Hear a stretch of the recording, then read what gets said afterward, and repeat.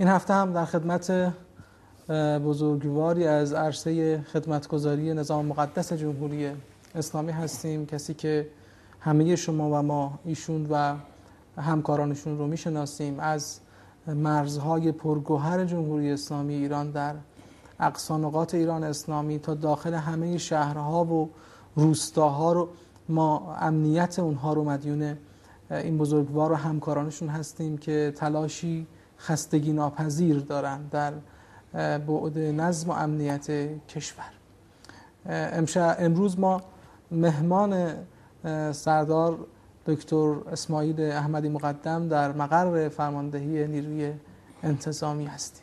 آقای دکتر سلام عرض می‌کنم. خیلی متشکرم که ما وقت دادید خیلی ممنون. بندم خدمت جناب عالی همکارانتون همه بینندگان عزیز سلام عرض می‌کنم. خیلی ممنون که این فرصت در اختیار ما قرار دادید خسته نباشید. میگیم و قبولی تئاتر خدمت شما و همه همکارانتون.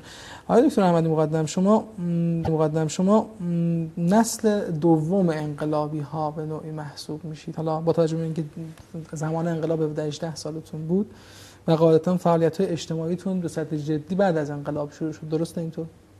حالا اگه میشه توضیح از همون فعالیت های نوجوانیتون در مورد بله. قبل از انقلاب بدید ممنون میشیم. بله بسم الله الرحمن الرحیم خب انقلاب که شد در بهمن 57 من حدودا 17 سالم بود. اما فکر می‌کنم به دلیل حضور در خانواده ای که با جریان مبارزه آشنا بود آشنا بودیم با این مقوله و از سال 56 که در واقع قیام مردم قوم شروع شد در 19 دی که در واقع میشه بگیم استارت انقلاب اسلامی از اونجا شروع شد در پی اهانت اون داریوش همایون و حضرت امام. خب یکی از دوستان بنده که بچه محل ما بود شهید در عبدوس رفته بود اون سال طلبگی در قوم. خب این رو دیدیم. خب قوم فضای خیلی خوبی داشت. رفتیم یه مدت اونجا مدرسه قدیریه. چند روزی مهمانش بودیم. تو ماجرای انقلاب و من اون موقع همون سوم نظری بودم. همون موقع تک تحصیل کردم مثلا رفتم اونجا. حوزه. آره. نه هنوز درسم شروع نگم چون اون موقع وسط سال بود امکان چیز نبود. درس. ولی رفتیم پیش ایشون ساکن شدیم اصلا. ساکن شدیم و بعد از ابتدای سال تحصیلی 57 هم خودم رسما دیگه درس علمی رو اول تو مدرسه رضویه شروع کردم از اونجا اومدیم مدرسه حقانی. خب در همون دوران هم ما کار انقلاب رو تعقیب می‌کردیم. خب باید مدیر مدرسه هم آیت الله شهید بهشتی بود آیت الله جنتی بودن مرحوم شهید قدوسی رئیس مدرسه بود. و خب فضای مدرسه معلومه فضای خیلی زنده بود اون سال هم اتفاقا مثل ما که در دبیرستان اومده بودیم و دیگه دانشگاه ها مخصوصا دانشگاه تبریز که تعطیل شد بچه انجمن اسلامی تو تعطیلی ترجیح داده اومده بودن قوم با هم هم کلاس بودیم. در فضا بودیم. از آوردن اعلامیه عکسای حضرت امام از قوم به تهران. و بودیم. در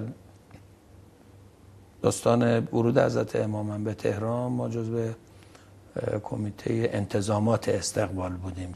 نخستین مسئولیتی که بعد از انقلاب به عهده شما گذاشته شد چه بود؟ چه جوری اتفاق افتاد؟ آیا همون کمیته ها بود یا چیز دیگه؟ یه مدتی که تا عید کمیته ها من تو همون کمیته محلم بودم یه نفرم بودم مثل بقیه چون رئیس کمیته معمولا روحانی مسجد بود آقای انتشاری خداشون کنه الان هم اونجا هستن هنوز در مسجد حاضر حضور دارن. آدم انقلابی بودن از قدیمم برای مسجد ما مردم سال حدود چهل و اینا رفتن در قوم حضرت امامیشون رو فرستادن. و خب اومدیم تو کمیته محلم بودیم. نه قصد اونم نبود باشیم ده. چون حوزه تعطیل بود. بعد عید ما برگشتیم مدرسه. چند وقتی اونجا قوم برقرار بود. تا دیگه حالا حوزات کلا تعطیل شد. ما اوایل دیگه در کمیته محلمون هم بودیم. همین کار تبلیغی هم می‌کردیم. سر چهارراهی و تو مناظره ها و اینها. تا سپاه سپاه هنوز تازه اردیبهشت یه هسته ای ازش تشکیل شده بود. بودن آقا سه ماه مثلا بیاد اون موقع کردستان خلق عرب چند جای دیگه حادثه پیش اومده بود ترکمن صحرا. خود تهران از امنیتی مناسبی نداشت. درگیری های بله بود. دیگه دور بر دیگه حالا الاخره دیگه. آقای احمدی مقدم چطور سر از نیروی انتظامی در آورد؟ حالا همونطوری که من واقعا خودم هیچ وقت فکر نمی کردم آدم واقعا مسیر زندگی من به فرزندان خودم بعضی جوان هم میگم میگم اینایی که شما هدف می‌ذارید کجا میریم؟ نقشه راهی می‌کشید؟ اینا خوبه ولی خیلی کم آدمایی هستن یه نقشه رو که بکشن تا آخر تو همون جاده بتونن برن. طوفان حوادث و تقدیر خیلی چیزها رو رقم می‌زنه جابجا می‌کنه. من هیچ وقت فکر نکرده بودم مثلا طلبه بشه. یه دفعه شدیم طلب. اصلا فکر نمی‌کردم نظامی بشن. اومدیم سه ماه اومدیم کمک بکنیم. بعد از من یادم هست حالا همون سه ماه شد. حوزه مهرما باز نشد. سه ماه گفتن سه ماه دیگه وایسید. با شهید بروجردی ما رفتیم کردستان. کردستان هم هیئت حسن رفته بود تحویلش داده بود. ما اون اولم یه فاز رفتیم سقس که حسن نیت اومد همه رو تحویل داد و ما در مقرمون در محاصره موندیم. مقر ما هم تحویل داد و موقع علی فضلی اینا از یاسوج اومدن اما تحویل گرفتن.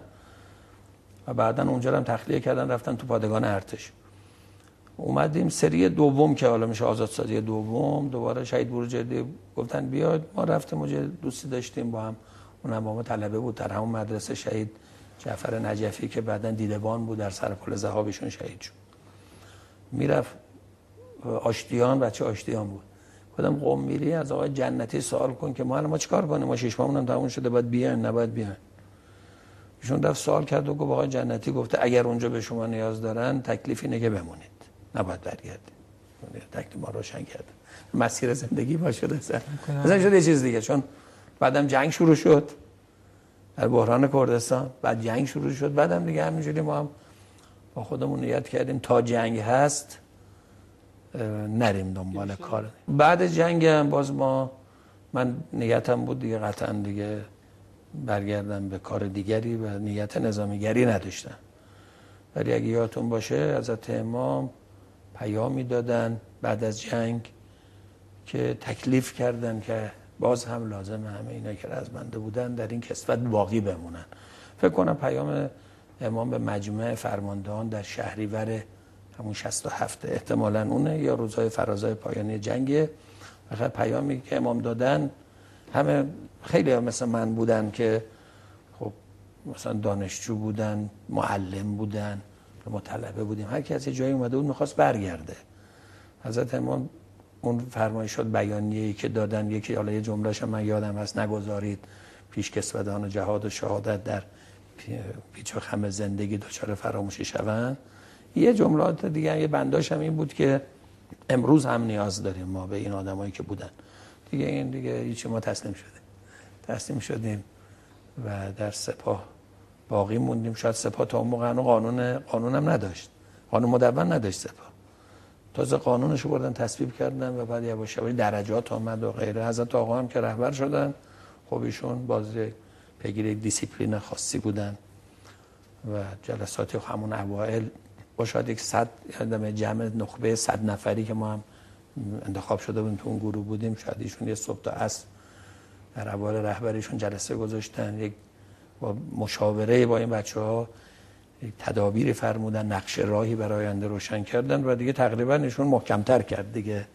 یعنی کسی جای رفتن نداره. و ایشون همین الان هم نظرشون همینه. ما آخرین ملاقاتی که مزارشون داشتم ایشون فرمودن که نیروهای انقلاب حالا اومدن مثلا مثل اداره دیگه می‌خواسته اون اداره بره اومده اینجا حالا تعهدی داشته تعهدش تموم میشه. ولی اونایی که نیروی انقلابن اینا نباید به دیوار بازنشستگی بخورن و ما اینها رو از دست بدیم. اینها رو باید حفظ کنیم. حضرت آقا خب تاکیدشون از همون اولا بود که نیروهای انقلاب باید اینا هسته اصلی قدرت دفاعی و امنیتی کشور باشن و بعدا هم نیروی انتظامی هم شاید یک حادثه بود. یه سال 84 چه شد؟ نه قبل از 84 من 70 و اواخر 71 بود یه بار اومدم اینجا و اون موقع در تیم بازرسی شهید سیاد من قبلش فرمانده لشکر سه ویژه شهدا بودم در شمال غرب و جانشین قرارگاه حمزه.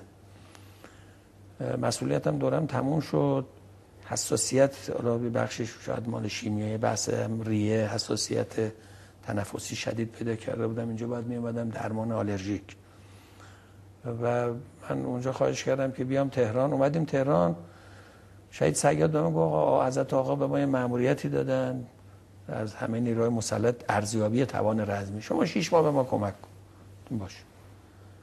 گفتم ما اینجا داریم درمانمون رو پیگیری می‌کنیم. در مونگاه آلرژیک هم می‌رفتم چون مرتب باید می‌رفتیم مداومت داشت گفتم اشکال نداره. خدمت ایشون بودیم که آقای سیف اللهی که از قبل مدرسه ارقانی ما با هم دوست بودیم ایشون هم طلبه بود در اونجا اون موقع فرمانده ناجا بودن.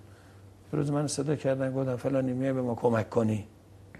گفتم که آقای رضایی که موقع فرمانده سپاه بود شما موافقه؟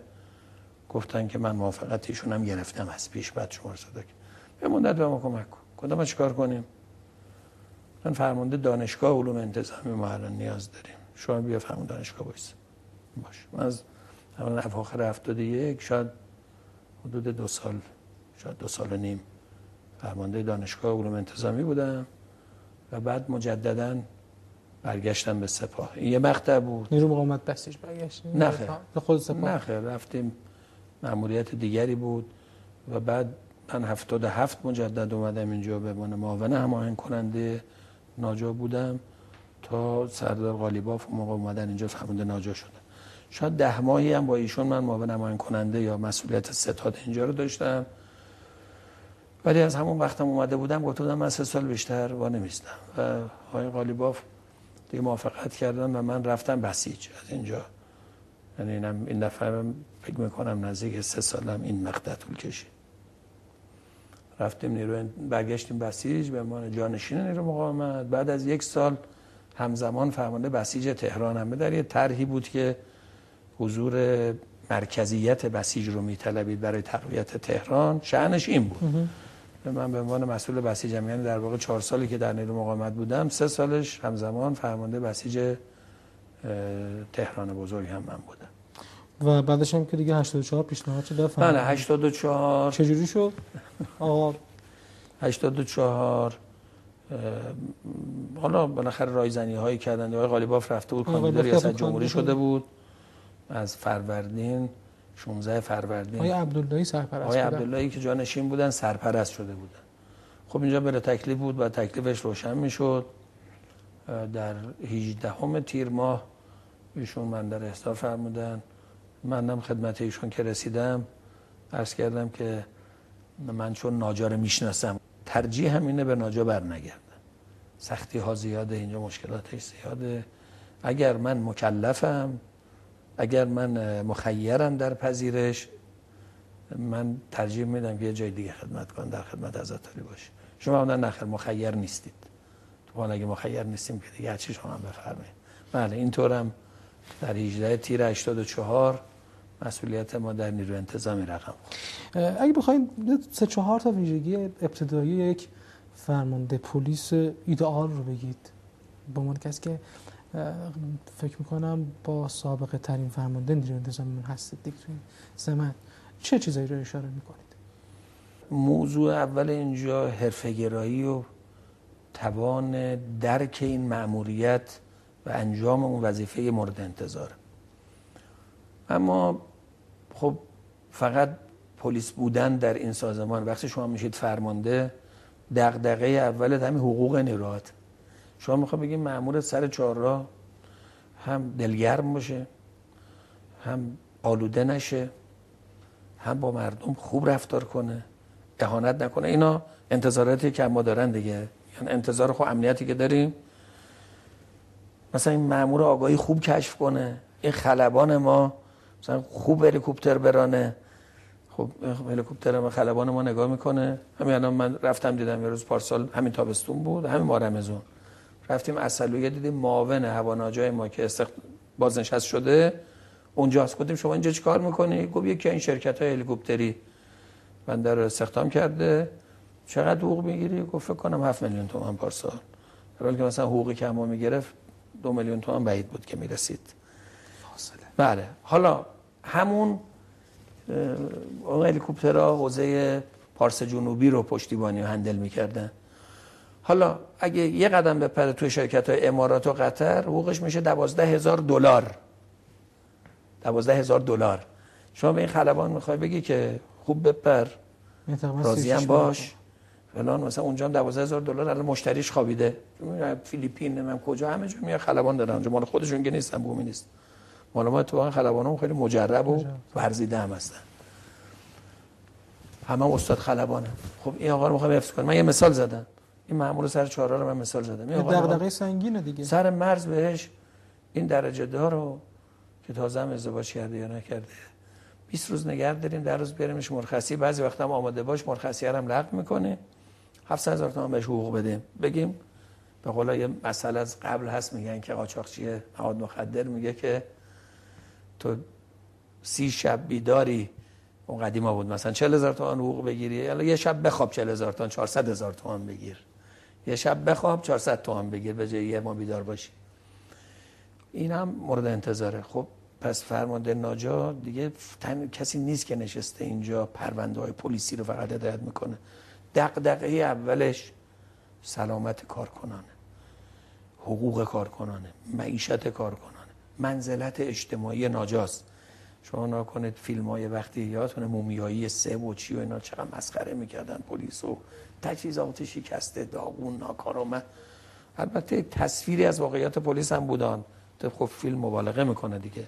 ولی تصویری هم بود. تا حدی هم باید منصفانه بگیم واقعیت هم داشت. اون فشارها هم رو نیرو انتظامی و نظام موثر بود. تا امروز که چهره نسبتا مطلوبی در رسانه ها از پلیس به تصویر کشته میشه. البته این تصویرم بسازیم و در بیرون باورپذیر نباشه این تصویر ارزش نداره. پس ببینید الان یه دغدغه من بحث حقوق بحث مسکن بحث معیشت بحث منزلت. یه دغدغه دیگه من ارتباطات وسیع. شما اینجا 290 تا نماینده دارید. من فکر می‌کنم در سال با 200 تاشون من ملاقات دارم. تقریبا همه با ناجا کار دارن. در شوراهای مختلفی در کشور از شورا عالی ترافیک و اجتماعی و امنیت کشور و فرهنگ عمومی و الا ماشاءالله ناجا عضویت داره باید پاسخگو باشه. وقتی برخی سیاسیون به دلایل مختلف نوک پیکان حملاتشون رو به سمت شما و نیروی انتظامی نشان رفتن مثلا شما تو این موارد چه احساسی داشتید؟ حق می‌دادین بهشون؟ مثلا انتقادشون هم باشه به خاطر یه عملی که مثلا بر اساس قانون ضابطه به شما واگذار شده. ولی انتقاد می‌کنم. حالا ببینید اولا که من انتقاد و فشار و اینا رو سازنده می‌بینم. از یه حدی نباید بره جلوتر که تخریب کننده باشه. اصلش خوبه. شما می‌برن یه دفعه یک ورزشکاری چاقو می‌خوره. این میشه مطالبه عمومی مجلس نماینده مردم مطبوعات. همه به ما حمله الان هم اخیرا مثلا کشیده شدن چادر مثلا یه خانم ناهیه عن المنکر داریم تحقیق می‌کنیم. میشه مطالبه عمومی. اتفاقا ما همیشه تلاش می‌کنیم مطالبه رو به جای تهدید به فرصت تبدیل کنیم. شما اصلا وقت معمولی بخوای بری دنبال قانون سلاح سر موفق نمیشه ما اول تلاش می‌کنیم که سریع در گام اول مطالبه اصلیه اون زارب رو دستگیر کنیم در اسرع وقت. جریان بخوابونیم. به مردم بگیم ناجا می‌تونه. دوم اون خلای قانونیمون هم بریم حل کنیم. خب رفت شد. حالا هنوزم در نیومده بیرون از مجلس. ولی خب یه مطالبه ای شد و ازش استفاده کردیم. از در کل این مسئله چیز بدی نیست. یعنی مطالبه برای سازمان سازندگی به دنبال. سازمانی که مطالبه نباشه این لخت میشه تنبل میشه طلبکار میشه. ولی از حد نباید بگذارن. حالا من به داستان فتنه 88 تو کهریزک می‌خوام اشاره کنم. همین آقای توکلی که دوست خوب ما از قدیم الایام حتی من واقعا از یک جهتشون رو تحسین می‌کنم دوست و رفاقت سرش نمیشه کلا. آره اصلا آقا ما که رفیق توی تو انتظار نداشتیم آره فرمانده ناجا باید استفا بده چون در اونجا اون اتفاق افتاده. یه روز من همون موقع یادم هست. بودن دوستان دیگه آقای متحری آقای کاتوزیان فلان اینا این چنین مطالبه ای داشتن فرمانده ناجا باید استفاده به دلیل به این دلیل. یه وقت همین آقای کاتوزیان دعوت کرد من دفتر ما. با آقای توکلی هم یه روز ما رمضان جمعه می‌رفتیم نماز جمعه رفتیم. مرکز پژوهشی خودش تنها بود نشسته بود. پرونده درست کرده بودم. گفتم این مثلا حرف نمی‌خوام بزنم. اینو بخون. یه کاغذ گوشم جلوش. خون. حالا اینو بخون. خون. اینو بخون. خون. همه رو خون. آخریش گفتم حالا این یکی هم بخون. آخریش چی بود؟ در نامه بود که من به حضرت آقا دستی نوشته بودم. نوشته بودم که شهر دادم داستانو. نشتن البته دوستان ما طوری متأثر از واقع کهریزک شده که واقعا برای ناجا هم خیلی سخت و سنگینه. که اصل قضیه رو دیگه دارن فراموش می‌کنن. یعنی اصلا اون کسانی که فتنه رو برای انداختن اونا شدن الان مطالبه گر ما شدیم بدهکار. یه دو دوستان ما هم جیه بر اصلا اشتباه گرفتن. ولی علا ایه حال این جمعه هست نامش بیشنه نوشتم علا ایه حال اگر جناب صلاح بدانید در این حوادث اخیر هر آنچه که اتفاق افتاده ام از این که ناجا کرده یا نکرده من مسئولیت اون رو میپذیرم. شما منو برکنار کنید این قائله بخوابه. و نوشتم به ایشون مطمئن باشید که هرگز من از جناب دلگیر نمیشه من این کتبه نمیشم جلو گوشم جلو ایشون جلو آقای کاتوزیان من. آقا نگاه تا ببینید من که نباید بیا مصاحبه کنم من گفتم و نپذیرفتن. ما رو شیوه غربیه. ما اینجا بر موضع حق باید بیستیم و بعدا هم من به منزل همین بندگان خدایی که جان خودشون رو در دست در کهریزک رفتم اتفاقا حقایقی رو من بهشون گفتم عذرخواهی کردم ازشون. همون باعث شد که همین مسیری که الان رفتن در مطالبه حقوقشون رفتن دنبالش. نمی‌دونستن خیلی عباده نمی‌دونستن. منم تحفظ داشتم ولی دیگه شرایطی شده بود. واقعا من به خدمت حضرت آقا رسیدم. گفتم من رفتم خدمت این دوستان. فرمودن خوب کاری کردی ولی دیر رفتی. کاش که زودتر رفته بودی. یعنی تازه ایشون میگو کاش که زودتر. و البته اون موقع خانواده ها گفتن ما به شرطی با شما ملاقات می‌کنیم که رسانه ای نشه. تو نداره. اما هیچ وقت رسانه ای نکردیم. تا اینکه خودشون بعدا در دادگاه مطرح کردن که من رفتم خونهشون عذرخواهی کردم ازشون و بهشون هم گفتم بودم واقعا من هر کاری به اونها هم همین شرح ما وغیره همه رو بهشون گفتم. گفتم الانم من هر کاری بگید می‌تونم برای شما بکنم جز بچه‌تون رو زنده کنم. من دیگه جون ندارم بدم این. فقط یه دونه کار نمی‌تونم انجام. هر کاری دیگه شما بگید بارشش این ساعت داشتن خیلی خوبه. و هم که شما دارید اینجوری میگید خب خیلی خوبه. یعنی فرمانده نیروی انتظامی رئیس پلیس و رئیس ناجا باید چنین روحیه یعنی حتی خیلی هم کمتر شاید داشته باشیم و بعضی زود عصبانی میشن کوره در میرن این خیلی خصلت خوبه. ولی تو درون خودتون خدا وکیلی بعضی موقع این کاش داره معرفت به خرج میدن می‌گفتیم می‌گفتیم قطعا دیگه نه؟ نه ببینید ویژگی های ایام فتنه همینه که حق و باطل به شدت مخلوط میشه. مثل یه مه خلبان تو مثلا تو ابر داره میره. اگه راداراش خوب کار نکنه تشخیص مسیحیت شب تاریک شما قطب نما نداری نور افکن نداری. سخته. واقعا از آقا بصیرت مثل قطب نماست در دریای طوفانی. واقعا اینه. نمیشه خیلی انتظار بنده اطلاعاتی دارم که اونا ندارم وقتی اون اطلاعاتو میدی ببینی موازه اونم تغییر میکن وقتی می‌بینی این اطلاعات همه جا گفتنی نیست. باید هم تند روی نکنی هم کند روی نکنی. من یه وقت یادمه حالا یه خورده آتیش فتنه خوابیده. ما رمزونه ما هر جا افتاری دعوت اون میگردن سن نمی‌تونستیم سر میز غذا بشینیم. همه ما داشتن سوال می‌کردن انتقاد می‌کردن. ما هم اصلا دیگه مونده بودیم چیکار کنیم؟ شروع شد. نمی‌دونم خانم پور آقایی خانم امام کی کی اینا رو بردن کشتن. حالا این پرونده های کشته سازی درست شد. هر روز یه آره هر روز یه چیزی. آقا اصلا ما مونده بودیم چیکار کنیم؟ این نماینده تو مجلس چیزی میگه اون روزنامه‌نگار چیزی میگه همه به ما حمله کردن. ما هم متحد خیلی دوستان خیلی نزدیک خیلی خوب خیلی از الله اینا بودن آقا اینا رو کشتید انصاف نیست فلان. آقا به خدا نکردی. والا من اصلا نمی‌دونم. ترانه نمی‌دونم کیه کردن. یادم موسوی. اصلا وجود خارجی نداشت. اصلا کیه؟ والله من دستن گفتن آقای جنازه گفتن ما چه جنازه در اختیار نداریم. اینقدر فشار زیاد شد. یه روز صبح من خواب که بلند شدم چند های قرآن می‌خونه این دفعه تفعالی به قرآن زدم. در اومد افوض امری الله ان الله بصیر بالعباد فوقاه الله سیئات ما مکر ان فهاق و حاق به آل فرعون. داستان موساس گرفتار شده لشکر فرعون به حمله کرده اون ور محاصرن پشتشون هم نیله گیر کردن. بعد میگه بابا فرمان الهی این حمله کنید اینا شکست می‌خورن. میگن خبر به کشتن بده این ما رو داغون کردی موسی بنی اسرائیل. این ور که سپاه مجهز پشت اونم آب. ما تموم شد کارمون. موسی دیگه هرچی به میگه فایده نداره. همین رو افوض امری الله ان الله بصیر بالعباد. خدا من کار خودم به تو میسپرم. دیگه من کاری دست بر یعنی الان عجز کرد.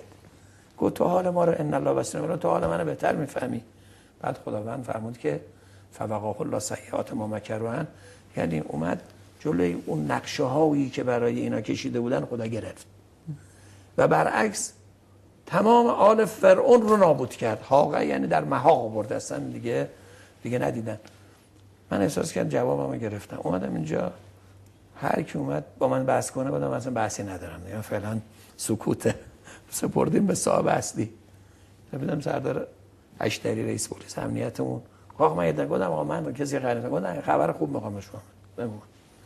آقا این مثلا عاطفه امام رو پیدا کرد سعیده پور آقایی رو پیدا کردیم این یکی پیدا یکی یکی پیدا شد. یه هفته نشد همش پیدا شد. اون پرونده که آقای اجایی آورد در تلویزیون همه رو همون پرونده بود که ما بهشون دادیم. یک هفته نشد تمام این پرونده ها کشف اصلا ورق برگشت. یعنی اونجایی که ما ناامید شدیم. دیگه ول کردیم. گفتیم خدا خود در کار بخواه بکن. اونجا در واقع کشف شد. می‌خوام بگم که این مسئولیت ها سعی صدر زیاد می‌خواد حوصله زیاد می‌خواد. حتی من ادعاشو ندارم. ولی یه جایی هم خداوندم کمک می‌کنه. بالاخره مسئولیت رو میده. بعضی وقتا شاید یک ظرفیت هایی هم میده یک لطفایی هم می‌کنه تسهیل می‌کنه. انشالله که تلاش کنیم کار ما برای او باشه. او هم خودش چاره ساز اگه واقعا شما جای مقام مسئول بودید حالا جای رئیس جمهور جای رئیس مجلس جای رئیس قوه قضاییه این آدمای تصمیم سازی که بالاخره تو قوانین و مقررات تصمیم سازن. تو قضیه حجاب ماهواره برخورد با مواد فروشان و خورده پا و معتادان چه تصمیمی می‌گرفتید که بهتر از این باشه؟ ببینید ما هیچ وقت پاسخ قطعی برای این جواب هایی که خصوصا یک ورش انسانه و رفتار انسانه انسانی که اختیار داره از جانب خدا به فرموده امام حسین علیه السلام در حدیث عقل و جهل درست هفتاد و دو سپاه مساوی خداوند سپرده مساوی یعنی زورشون مساوی مساوی چون اگه یکی غالب بود اون یکی رو مغلوب می‌کرد. مساوی.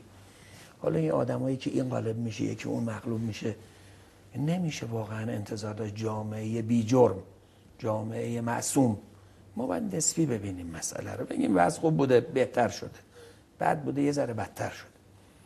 شرایط امروز دنیا رو ببینیم. ارتباطات جهانی شدن ماهواره ها اینترنت. الان بحث رسانه ها چقدر وسعت پیدا کرده؟ شهروند خبرنگار. شهروند عکاس. تقریبا مخفی کردن هیچ چیزی امکان پذیر نیست.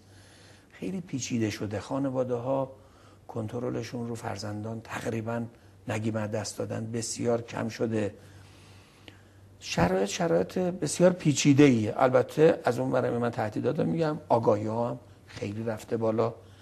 همونقدر که این رسانه ها تهدیدن در آگاه سازی هم بسیار قوی هن گذاره جنگی ولی بله ولی باید یک جنگی نه بین ما و مثلا نظام استکبار. ها جبهه حق و شیطان. این از حابیل و قابیل بوده از خود حضرت آدم بوده. شکست خورد زمینی شد. هست تا روز آخرم هست. چند تا معصوم هم بیشتر نداریم. لذا ما اصلا نباید واقعا کار سخته انتظار اثبات پس ببین ما اول اینو نگاهمون رو تعدیل کنیم. چون بعضی خیلی تند میرن. حالا مثلا گیریم یه گوشه ای. یکی رفت امر معروف کن درگیر شده که حالا این مسئله ملیه واقعا. ملیه مثلا روزخاری من ببینم عزیزان ما که خیلی بهشون ارادت داریم مرتب آقا روزخاری نکنید نیرو انتظامی برخورد کن. آقا شما تو تهرانید دیگه. تهران فکر می‌کنه چند, چند درصد روزه نیستن؟ سی درصد ما روزانه مسافر داریم درسته؟ از اطراف میان اینجا. یعنی که می‌تونن روزه نباشن و بخششون هم ممکنه بعضی احکام. بچه و پیر و بزرگ و مریض و کیو اینا رو همه کم کن. نصفی اقلا روزه نیستن دیگه. شما چند تا روزه خور در روز می‌بینید؟ عمدتا هم اگه ببینید روزی شاید یه مورد اون سیگاره بیشتر از اون نیست. بیشتر سیگار. اونم وقتی بهشون من خودم بارها یقشون گرفتم. آقا ببخشید حواسم نبود. و خب قفلتم که یه کسی بگه ادعا کنه من حواسم نبود. ما باید بپذیریم از اون. می‌دونیم بگیم تو تعمد داری. حتی ما میریم همون رو تذکر میدیم. اگه پرونده داشته باشه برخورد می‌کنه ولی واقعا این مسئله اینقدر شیوع داره که اینقدرش بپردازیم.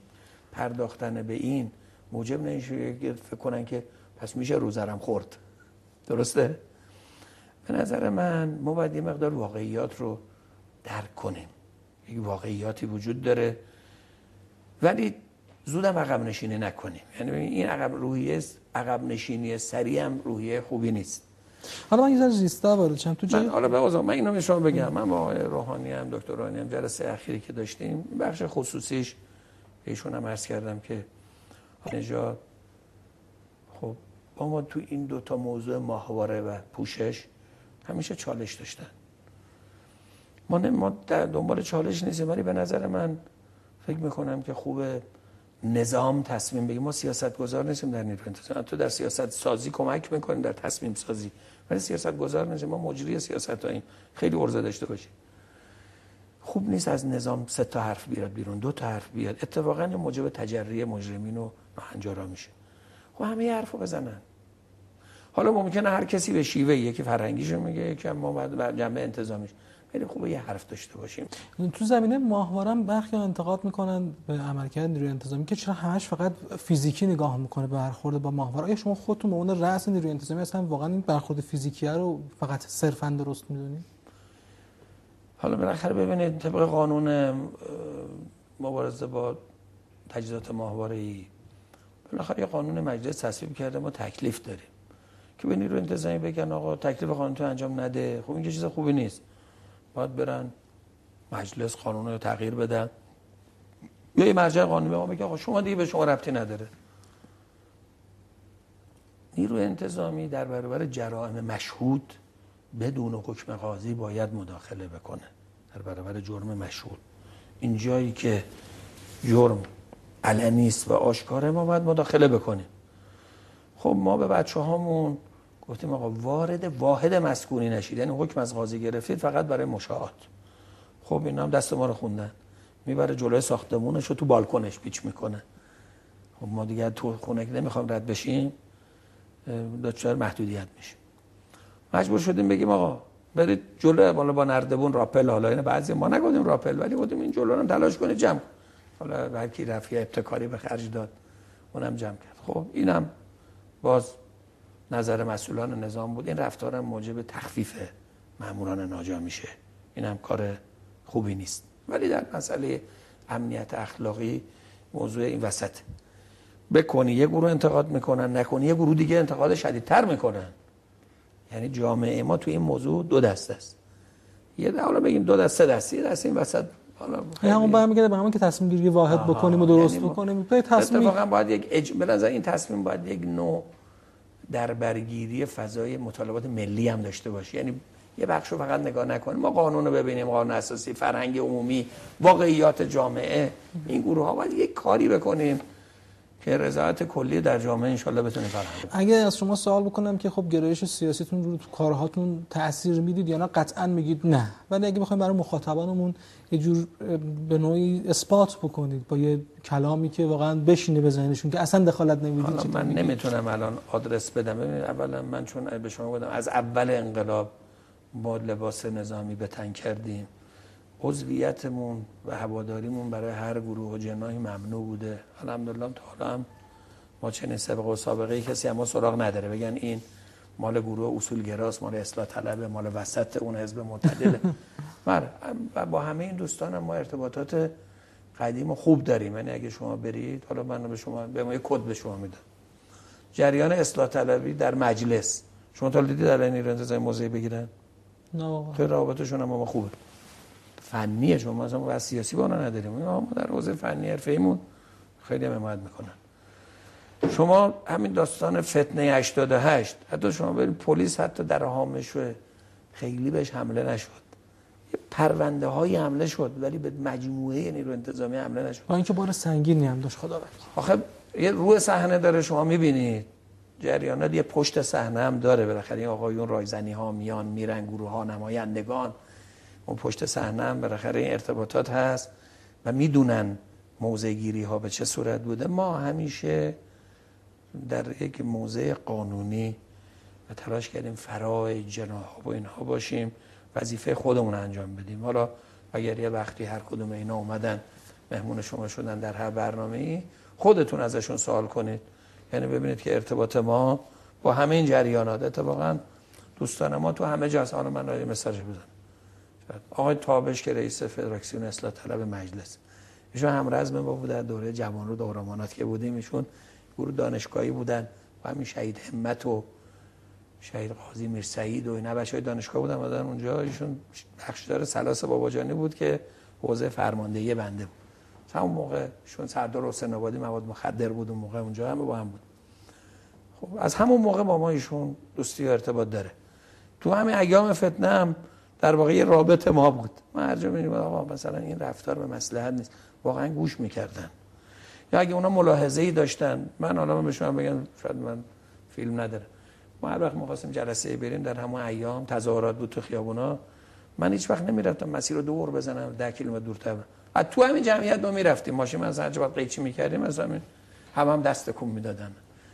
یعنی ما یه رفتاری تلاش کردیم تو نیرو انتظامی باشیم. که انتصاب به جایی پیدا نکنه. این خطرناکه. یعنی یه گروهی احساس کنه این مال ما مال اون نیست. حتی گروه سیاسی رو بذارید کنار. این مسیحی احساس کنه ما با مسلموناییم اشاب به مسیحی می‌کنه. اون سنی فکر کنه که من رفتارم یه جوری جانب شیعه ها رو می‌گیرم. حقوق او میشه شهروند درجه دو. اینا واقعا سم. این متدینه فکر کنه. خانم بعد فکر کنه که من دشمن او هستم. ترجمه می‌کنه من منو به من ناصح ببینه. من خیرشون می‌خوام. من تذکری نصیحتی بود کردیم رفتار خلاف قانونش بهش گفت. تلاش کردم اینطوری باشم. حالا چقدر موفقیم؟ نمی‌دونم. دیگران باید قضاوت پلیس اقتصادیتون فکر می‌کنید تا آخر دوره شما شکل بگیره؟ چون دیدم خوندم صحبتاتون گلایان داشتین بعضیا نمی‌ذارن. این بعضیا کیان که نمی‌ذارن؟ ببینید ما پلیس رو شکل دادیم. در پلیس آگاهی ما پلیس مبارزه با جرایم اقتصادی داریم. پلیس مبارزه با قاچاق کالا و ارزم داریم. ولی اون مفهومی که ما میگیم یعنی این پلیس نه تو آگاهی ماست. میره تو وزارت اقتصاد دارایی من آقای دانش جعفری وزیر بودن رفتم یه وقت پیششون هم اول وزارتشون. شاید الان من نقشه ناراحت هم بشه گفتم که ما حاضریم این پلیس رو در وزارت اقتصاد دارایی تشکیل بدیم. من گفت فلانی چون نیرو رو دستمونده ای داری می‌خواد بفرستی اینجا؟ نه عزیزم حقوق نیرو رو من میدم همه چیشو من میدم شما یه جا میدی. زیر امر تو هم هست. کار جرایم مالیاتی جرایم گمرکی فلان یه شعبه تخصصی باشه مستقر در اینجاست. ارادش نیست؟ به بانک مرکزی دوره آقای مظاهری گفتم دوره آقای بهمنی من گفتم. آقا بیاد پلیس بانکی درست کنیم. پلیس جریان بانکی مستقر در بانک مرکزی. نمی‌دونم حالا حتما هم اونا معاذیری دارن برای خودشون. بالاخره تا حالا نشده. به نظر من قانون می‌خواد. از اینکه من برم با این آقا رایزنی کنم اون آقا رایزنی کنم این شدنی نیست. بالاخره ما یک تمرکزی در این جرائم می‌خوام. این جرائم پیچیده شده. که وقتی ما دادگاه و دادسرای ویژه نداشتیم. خب الان داریم. اینا قانون می‌خواد. یعنی به نظر من قوانین مبارزه با فساد قوانین مبارزه با جرم بانکی و اقتصادی و قاچاق و اینا اینا باید تخصصی تر بشه. شما پلیس مبارزه با خدر یا پلیس مرزبانی درست شد؟ برآوردتون موثر بود یا نبود؟ پلیس راهنمایی شبه استقلال پیدا کرد موثر بود یا نبود؟ قطعا بوده. خب قطعا یک تشخص سازمانی وقتی میدیم اعتبارات امکانات نیروها مرکز آموزش مرکز تحقیقات همه اینا میره با اون سازمان های متعامل کار میدانی نزدیک می‌کنن کار اثر بخش در هم میشه. حالا ما توی شهرستانی پرونده بدیم این آقا امروز قتل فردا سرقته بعد چکه بعد نمی‌دونم کلاهبرداری این همون تجربه که شما میگید تو عرصه بزرگ امنیتی 88 ما اومدیم به مرحله از پیشگیری رسیدیم به پیش بینی این همون پیش بینی است اصلا حرفه گرایی یا پروفسیونالیسم یعنی باید صورت بگیره. اصلا شده همه جای دنیا هست.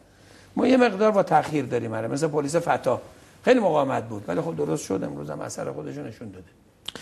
شما قدیمی ترین خب پرسابقه ترین فرمانده نیرو انتظامی هستید. همه من دیدم سابقه ها رو یه سال چهار سال پنج سال ولی خب شما هشت سال تو این سمت هستید. اگه حکم فرماندهیتون خب تمدید نشود آقای احمدی مقدم کدوم ارسل برای فعالیت انتخاب خواهد کرد؟ آیا ممکنه شما به سمت مسئولیت سیاسی برید یا نه؟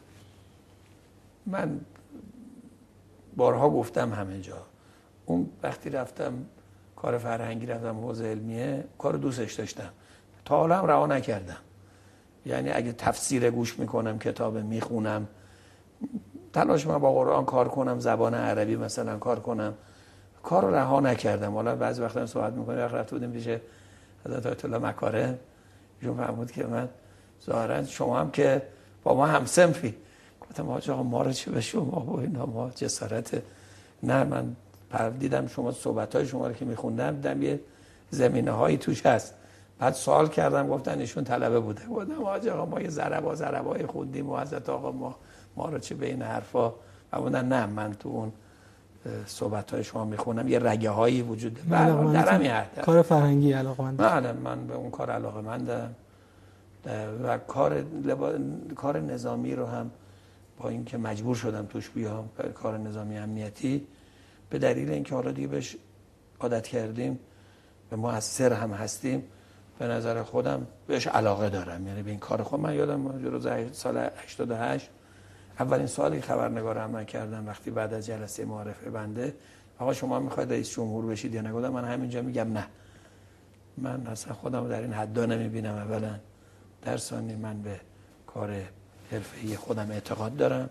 تلاش می‌کنم تو کار خودم موفق باشم. انشالله که توفیق داشتیم بالاخره در همین حوزه امنیتی انتظامی و نظم و امنیت که جنبه اجتماعی داره اینها. حالا بالاخره کار اجرایی یا غیر اجرایی کارهای اتاق فکری تحقیقاتی حالا عضویت علمی هم هستیم. حالا اون که در واقع اون یک چیز دیگر داریم که طبق قانون 70 سالگی هم می‌تونیم ادامه بدیم در دانشگاه. به من عضویت علمی بدیم دنبال کار علمی در همون مسیری که باید باشه. آقای احمد مقدم این ماجرای باجناقیتون با آقای احمدی نژاد اصلا از کجا شروع شد؟ اصلا واقعا باجناق با هم؟ اولا ما هیچ نسبت سببی یا نسبی با ایشون نداریم. واقعا من نمی‌دونم اینو فکر کنم. حالا اسم نمی‌خوام بیارم از اون ضد انقلابی که در خارج اینو انداخت. بارها هم خیلی هم من سوال کردن این رو. حتی مسئولین خودمون. هرچم جواب بدیم افاقه نمی‌کنه. بازم باید توضیح بدیم. نه من هیچ نسبتی ندارم. خب من سال آخرم در مورد خب این عملیاتیه که در آستانش هستیم. عملیات مرسا. که می‌دونم شما نقش موثری در کنار شهید سعید شیرازی داشتید. و با این سوال اصلا شروع می‌کنم. برخی هم میگن که نیروهای ما اون موقع آمادگی داشتن. یعنی با برنامه این آغوش رو باز کردن اون عملیات فروغ جاویدان انجام بشود و بیان تو که مثلا کل کار رو جمع بکنن. شما که تو وسط صحنه عملیات بودید از اون عملیات بگید و اینکه این اصلا با برنامه بود یا نه واقعا غافلگیرانه بود تو اون من تا الان که شما من سوال می‌کنید کلا اجتناب کردم وارد این حوزه بشم و هیچ جا در هیچ سخنرانی جایی من اظهار نظری رسانه‌ای نکردم. حالا و شاید خود عملیات مرساد یک برنامه به طلب هستن راجع به عملیات مرساد. ولی نه اینطور نبود. حالا اون کلمه مرساد هم آقای هاشمی انتخاب کرد که در واقع به دشمن تفهیم کنیم که ما در اینجا در انتظارتون کمینگاه شما اینجا بود. من سالهایی که در منطقه غرب خدمت می‌کردم در جوان رود منطقه گهواره و کوزران و اینا. تا همین منطقه که درش عملیات شد چارزبر جزء حوزه ماموریتی ما بود. جزء حوزه ما سرزمین من از توجی بودم کاملا. اوایل جنگم سر پل زواب بودم. کاملا به جغرافیا آشنا بودم. در این منطقه خب ارتفاع جنگلیه. یه خوردم دره دره است. خونک هم هست نسبتا. باید هایی که تو جنوب گرم بود حالا من یادم لشکر 27 حضرت رسول مال بچه های تهران بودن لشکر انصار و رسن بچه های همدان بودن. تیپ 12 قائم مال سمنان بود. تیپ 57 حضرت ابوالفضل مال لورستان بود. حالا این چهار تا باید من یادمه. که اونجا عقبشون بود. یعنی نیروها تو جنوب گرم بود تا می آوردن اینجا. جنگلی بود و کوه بود و اینا بمباران نمی‌شد. جای نسبتا خوبی بود. به جنوب هم نزدیک بود. مثلا شما فکر می‌کنم از اونجا چهار ساعت خودتو میرسونی به پل دختر رو میرسونی مثلا به جنوب. چهار ساعت پنج ساعت مثلا اندیمشک یه عقبه موجود بود. من اینو خب اطلاع داشتم. یه قرارگاهی هم قرارگاه فتح بود. سپاه هشتم مسئولیت و منطقه داشت. یه عقبه قرارگاهی بی سی امکاناتی داشت اونجا. نقشه و وضعیتی رو. من این اطلاع داشتم. و وقتی که آقای هاشمی در کرمانشاه در مقر قرارگاه رمضان بودیم و همه قرارگاه نجف هم که سردار شوشتری فرماندهش بود رفته بودن جنوب. اصلا کل غرب مسئولیتش با ارتش بود. اصلا سپاه اونجا نبود. بنده هم رفته بودم غرب نه به عنوان نماینده سپاه. آقا موسی من گفت شما نماینده سپاه هم هستی؟ ولی آقای هاشمی که اون موقع جانشین فرمانده کل قوا بودن در قرارگاه خاتم از طریق آقای سنجقی که اون موقع دفتر ایشون و مشاور ایشون بودن یادم من تلفن کردن گفتن شما نماینده قرارگاه خاتمم تو غرب و شمال غرب هستید یعنی من در مریوان که آقای دادبین فرمانده لشکر بود در ارتفاع منطقه شیلر ارتفاعات لری و اینا که عقب نشینی می‌خواست بشه یا حاج امران اگه شما برید در اسنادش آقای حسنی سعدی سرلشکر حسنی سعدی که اون موقع فرمانده نزاجا بودن ما با ایشون امضا کردیم همه یعنی من به ما نماینده قرب خاتم امضا کردم که خط جدید کجا مستقر بشه. نه به ما نماینده سپاه فقط. آقا محسن هم زنگ زد گفت شما اونجایی نماینده ما هم باش. نماینده سپاه هم شما تا ملخ تا سپاه تقریبا همه رفته بودن کوچ کرده بودن جنوب کسی نبود. تو سردار زلغت که فرمانده قرار رمضان بود ما هم تو مقرش بودیم همون لحظه. چون رفته بود گیلان غرب یه واحدی برده بودن کمک مردم تو همون عراق که حمله کرده بود. آقای هاشمی از تهران اومده بود. هیچ کی نبود توی قرارگاه. من اتفاقا رفتم پیش ایشون با آقای محصولی. لشکر شیشه پاسداران بود. یه دو تا گردان فکر کنم همدان و تهران رو جفت و جور کرده بودن آورده بودن اونجا. حالا دیگه حالا این داستان وقایع طول کشید و هی زنگ زدن گفتن آقا اینجا اومدن تا اینجا اومدن تا اینجا اومدن تا اونجا. من صبح رفته قبل از اومدن آقای هاشمی تو سر پل زهاب رفته بودم. کل داوود دشت زهاب دست عراقی ها بود. این کل داوود خط ارتش بود از اونجا وضع و دیدم و اومد. دیدم عراقی هم دارن عقب نشینی می‌کنن واقعا. اومدم من داشتم گزارش با آقای هاشمی می‌دادم. برادری بود بنام سردار امیر نوحی که الان هم در سپاه هستن. زنگ زد به من گفت که از کرنگاه آقا اومدن. از چیز رد شدن. از کل داوود رد شدن. پاتاق یعنی از اون تنگ رد شد. آقا چطور میگی؟ ما یه گردان احتیاط فرستاده بودیم بچه های تیپ 57 همین سردار نوری. بچه های لورستان بودن دکل ماکروویو بالای بالاتاق بودیم برو اونجا تو جنگلا پوشش داره اونجا باش. با اون تماس گرفتیم. گفت اونجا هم رد شدن. گفتم آقای نوری تو چه درگیر نشدی؟ گفت آقا ما دیدیم ستونی میره اون بالا. مثلا یک کیلومتر با جاده فاصله. تا خودم رسیدیم جاده ستون رفت. انقدر سرعت داشت. آقای امیر نوری زنگ زد گفت کرندم رد شد. به کرند رسیدن. گفت به دشت کرند. من تو کرندم رسیدم به دشت کرند. عراقی ها با این سرعت آقا سرعت 80 کیلومتر همینجوری میاد چه جوری با این سرعت میاد عراقی آتیش ریختن خط ارتش رو به هم ریختن اینا همه هم مونده بودن تو یعنی یک بوتی مثلا اینا کی ان اصلا اگه میگن نیرو احتیاط سپاه داره میاد. همینجور با تویوتا و اینا هم چون بودن نه ماشینایی که همون ارتش عراق بود. آره. مثلا با تویوتا و ماشینای سبک بودن. آقا هاشمی من گفت برو اونجا یه کاریش بکن. ما کسی نداره واحدی در جای دیگه ما که دوستان آقای مسئولی رو آقای مسئولی. تو بهش واحداشو گفته بودیم ببر تو گیلان غرب گردنه قلاجه. همون نوری رو آقای نوری که فرستاده دادیم گردنه پاتاق اینم گفتیم شما برو گردنه قلاجه. وقتی من راه افتادم تو گردنه حسن آباد رابندون آقای مسئولی هم این راهش با اتوبوس اونجا پیاده شدن وایسادن گفت آقا رابندون ما چجوری بریم گیلان غرب؟ گفتم نرید. همین بریم همین ارتفاع اینجا جبه هست گفت نه بابا. گفتم همینجا الان جبه هست همینجا وایسید ما هم رفت بودیم اسلام آباد دیدیم اسلام در حال سقوطه و نیروها هم دیگه انسجامی ندارن. گفتم آقا همینجا وایسید اگه منافقین اومدن جلو. صبح اینجا حمله اگه نیومدن شما اینجا دفاع کن تا اون خط عقب ما درست کن دیگه رفتیم اونجا. حالا تنگه در واقع به این شکل کوه اینجوری چهار زبر. تنگ هم خیلی تنگه این وسطش. تو واقعا یادم یه تیر چراغ برق این ور بود تیر برق. یه تیر برق این ور بود. دیگه بچه ها رو آوردیم دست راست. عقبه لشکر 27 بود. گفتیم شما رو این تیغه این ور مستقر شید؟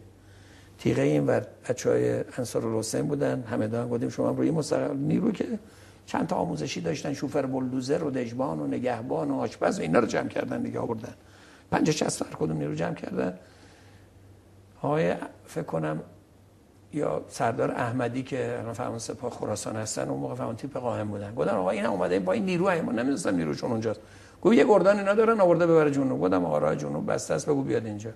گفتم آقا اینم شما هم بیا بردمشون سر همون جاده. گفتم از این تا این تیر از این تیر تا این تیرم. ماشینای مردم که رد شدن یه خاکریزی زدیم. یه بلوزر بچهای لشکر انصار آوردن خاکریزی زدیم. یه اندازه یه ماشین بازگشت گفتم ماشینای مردم که رفتن خاکریز ببندید. من خودم برای بچه های قائم صحبت کردم. بچه های سمنان گفتم که ببینید اینجا سقوط کرد یعنی که اونجا سقوط کردن همه این تیر تا تیر می‌بینید؟ الان اعتبار ما و همه چی.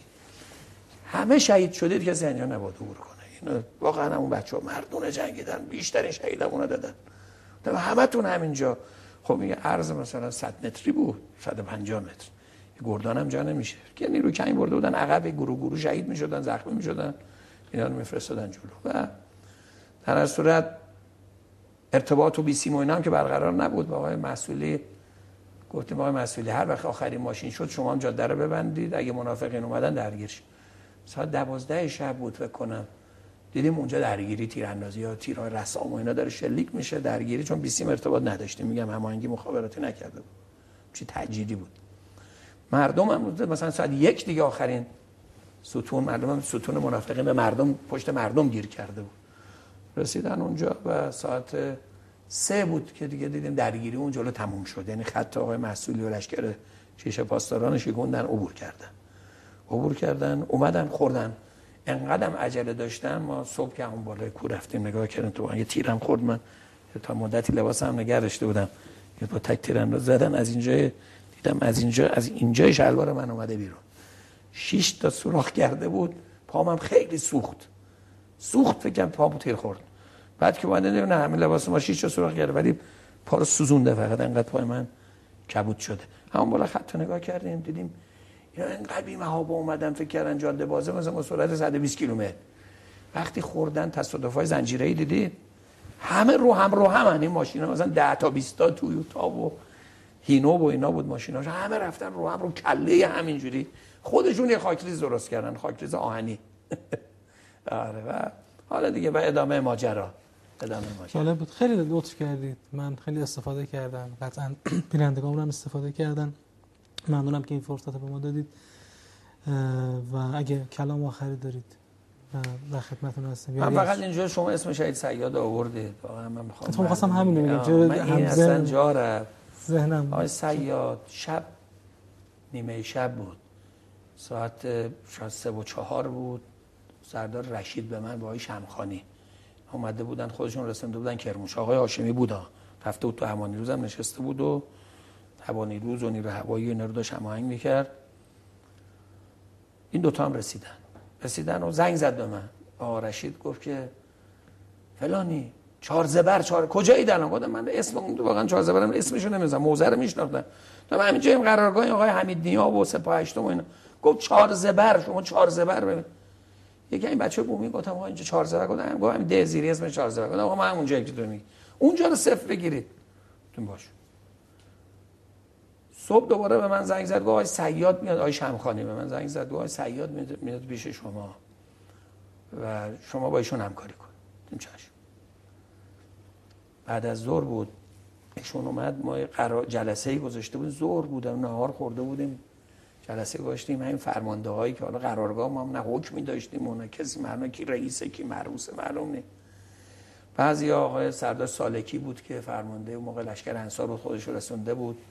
لشکر 27 آقای کوسری نه ولی دیگه بچهای دیگه شون اومده بودن مسئول ردای بعد. چون آقای کوسری نه و جنوبی وادی رو انداختن اومدن با لشکر آشورا با تیپ روح الله اومدن از سمت پل دختر حمله کردن اونا از همون جنوب اومده همین عقبشون یک مسئولینشون آقای نوری از تو کوموها خلاصه پیدا شد. آقای نقدی با لشکر بدر یه گردان سردار نقدی فرمانده لشکر بدر بود با خودش آورده بود. واحدای از این برانوار همه جمع جور شدن. منافقین هم دیگه به نفس افتاد. از صبح هم هواپیماهای ارتش با هوا نیروز گفتن کجا رو بزنیم گفتم این گردن هر چی دیدید بزنید به بعدش. این هم همینجوری می‌زدن. خیلی نابود کرده بودن. بیشترین حجم نابودی واقعا بچه های هوانی روز و چون ما که توپخانه نداشتیم هیچی نداشتیم. هم سلاح سبک بود دیگه. با سلاح سبک نمیشه جلو. اون هواپیمای عراق مرتب بمبارون می‌کرد. مرتب بمبارون می‌کرد. و آقای سیاد اومد زور گفت جلسه که گذاشتیم گفتیم بله این واحد کجا بره اون واحد کجا. که حالا ما دیگه بزنیم منافقین رو جمع کنیم. گفت فرمانده اینجا کیه؟ همه به هم نگاه کردن و همه برادرن دیگه. همه و حالا فرمانده چی همه داریم کار می‌کنیم. گفت نه ما نظامی فرمانده باید اینجا روشن باشه. اجازه بدید من یک حکمی را قرائت می‌کنم. من نمی‌دونستم گفت آقای شمخان ایشون میاد همکاری با من نمی‌دونم همکاری یعنی چی. بسم الله الرحمن الرحیم. به من خطاب به من بود نشته بود که شما تا اومدن سردار شوشتری که جنوبه مسئولیت این محور با آزادسازی اسلام آباد و کرند و سر پل زهاب رو دارم اون کاغذش هم هنوز. به عهده دارید. یه وقت با آقای شمخان نقی خودش یادش رفته بودم. من کپیشو گرفتم. بود ضمن آقای سیاد شیرازی شما رو توجیه می‌کنه در این موضوع و با شما همکاری می‌کنه. آقای سیاد گفت الان فرمانده شمایی و من زیر امرشون گفتم اختیار داریم. ما اون موقع فرمانده مثلا سردش بودیم. چون فرمانده نزاجا بود میومد اونجا مثلا. ما مثلا در فرمانده گردانی بودیم. خیلی هم با ایشون ارتباط داشتیم. زمان جنگ هم دوست بودیم. خیلی ارادت داشت. گفتم آقای سیاد من عذرخواهی من که نامشون دستور دادم. آقا ما نظامی ما نظامی دستور ما باید اطاعت کنیم. این گفته شما فرمانده ای منم زن. منم پیشنهاد دارم. گفتم چی؟ گفت من تخصصم هلی برنه شما هم زبون بچه ارتش خوب نمی‌فهمید. من میگم رو این گردن اسدآباد حسن آباد اینجا که تو این گرمای تابستون می‌خوام برسم اونجا مثلا 10 ساعت راه. ما حاضریم اینو هلی برن کنیم که بچه‌ها خسته نباشن اونجا. گفتم خیلی خدا به نمون درت بیامرز سردار نقدی رو فرستادین ایشون اون بچه‌ها رو برد. دو ساعت هم بعد گفت همه مستقل پشت منافقین بستن تو منافقین تو گردن اسدآباد حالا اومدن جلو ورودشون با مسئولی درگیرن برگشتنش با بچهای لشکر بعد. عقب‌تر رفتن با بچهای لشکر آشورا روح الله. آشوراش خلاصه اونجا رفتن. من می‌خوام این روحیه ایشون من می‌خوام بگم حالا ولایت شعارش میدیم. پستمون بالا یه ذره میاد پایین. چقدر فزر می‌کنیم و واقعا اینو یاد بگیریم. از این شهید بزرگوار این اخلاق رو. میگم من فرمانده گردان بودم ایشون فرمانده نزاجا بود. بعد حالا اومدیم من اصلا سمتی ندارم. یه نفر گفته آقا فعلا شما باش. شما باش. ایشون اومد مثل یک سرباز. حتی با هم من یادمه در تعقیب منافقین نیروهای رو با شنوک بردیم رو گردنه بالاتاق. پیاده کنیم پشت رو ببندن. بچه های همین سمنان. به من گفت که با هم می‌رفتیم من و ایشون توی 214 بودیم دو تا کبرا هم اسکورت می‌کردم جاده اسلام آباد به کرند که رد می‌شدیم چند تا نفربر کاسکابل دجله عراقی هم گفتن منافقین داشتن عقب نشینیم داشتن برمیگشتن. به من گفت که اجازه می‌دید اینا رو بزنیم؟ گفتم مگه می‌تونید بزنید؟ که خب بزنید گفتم اجازه نمیگه نخیر فرمانده شما همیشه هم تاکید میگه فرمانده شما که نمی‌تونید سر گفتم این می‌تونم رو بزن تا واقعا این کبرا رفتن و دو تا کاسکابل هم زدن. کاسکابل هم رفتن از جاده افتادن بیرون و یه کبرا هم خورد زمین. سقوط کرد. ای داده بیداد ما چه امری بود که؟ آره بعد که برگشتیم از جاده برگشتیم دیدیم کاسکابلا و آدمان توش کشته شدن و سوخته کنار افتاده. هلیکوپتر ما پودرش اونجاست. دیگه اومدیم کرمانشاه تو مقر روانی روز اون موقع تیمسار انصاری فرمانده هوانی روز بودم تشکر کردم اون آقا من شما تشکر می‌کنم. واقعا این خلبان رشید بودن. زدن اونا رو خودشون شهید شدن اینا. کو شهید نشدن. کو اومدن اینجا. گفتم اینا چجوری با هواپیما پود پودرش مونه. خدا با چشمون خورد زمین این کابل فشار قوی گیر کرده بود. اسکیتشون بارون شدن ولی تا اسکیت خورده بود زمین در واقعا پریدن با هلیکوپتر. دو تا قلب زده بود جلوتر منفجر شده بود. این هم دیده بودن منافقین هم که کشته کسی انداخته بودن از مسافتی از دورتر اومده بودن. این هم خاطره شیرینی بود. یکون خلبانا رو پیدا کردید تو جای مصاحبه خیلی لطف کردید. رحمت خدا بر همه شهیدان و شهید عزیزمون سعید شیرازی که تو این ایام یادشون می‌کنیم. و انشالله که امیدواریم همه ما تو این مسیر حرکت بکنیم. خیلی لطف کردید. ان که موفق باشید. ما همچنان در خدمتتون باشیم. هر جا که هستید موفق باشید و مردم خدماتتون استفاده بکنن. ما هم از شما و همکاران تشکر می‌کنیم. انشالله شما هم دعا کنید در این ماه رمضان که عاقبت بخیر بشیم. انشالله همه خیلی لطف کردید